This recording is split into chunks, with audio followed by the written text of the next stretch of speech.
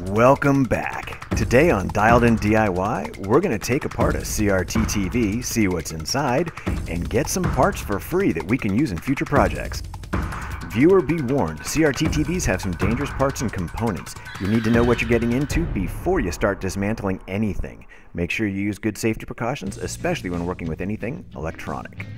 I will be covering some general safety precautions when we go through this project, but I don't have time to get through them all.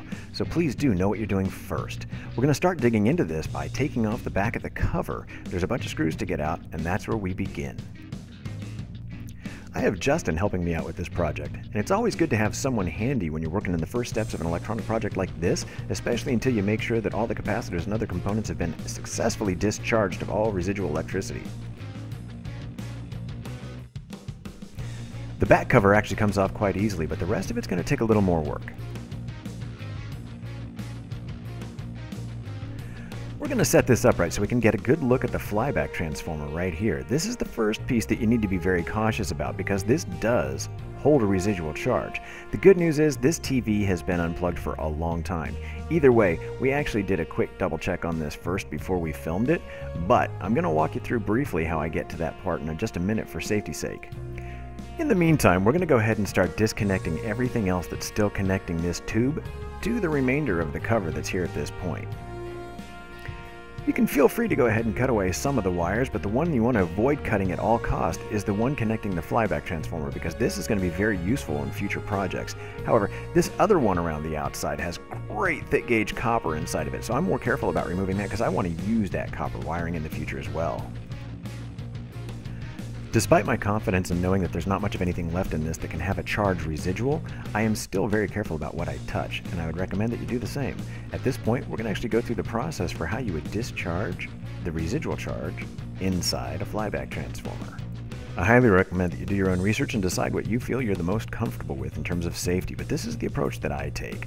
I make sure that I have an alligator clip grounded that I use to ground my screwdriver, which I then put one hand behind my back while I slide the screwdriver underneath this little suction cup until it makes contact with the two pins inside. Once successfully discharged, I can feel comfortable about going back and using both hands to get this flyback transformer connection disconnected.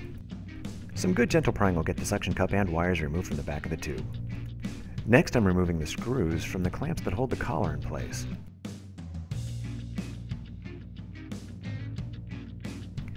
I then move on to disconnecting any residual wires that are holding this circuit board in place. The ultimate goal is to free up all connections that are holding this tube into the case so that I can get the tube out of here and continue to work on the remainder of the parts. Once done, I'm going to go ahead and slide the circuit board off the top of the electron gun. If it's a little bit sticky, you can actually rock it back and forth until you free it up, and it will slide right off. Then you can remove the tube and set it out of the way. That's a good idea anyway because it's made of leaded glass and it's full of phosphors. You don't want that to break and start inhaling any of that stuff. It's dangerous. Once I got the main circuit board out of the way, I moved on to the speaker. You Got to unscrew it from the backside, but then on the front, you've got this faceplate that holds it in place. Once that's popped out, you've got a pretty good sized speaker that you can use in another project as well. As we're all finished up here, I've got some good salvaged parts that I can use in future projects. Right here you see the flyback transformer and a lot of other pieces. I do go ahead and then take the main circuit board so that I can then get my soldering iron out and take out anything else that I want to use in something else. But that takes a little bit of time and it's a little bit beyond the scope of this video, so you just have to trust me, there's a lot of good stuff here.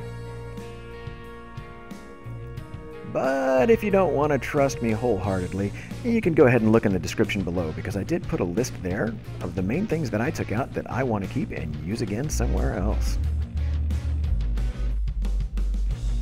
Thank you for watching. Please press like and then subscribe. There will be more dialed in DIY to come.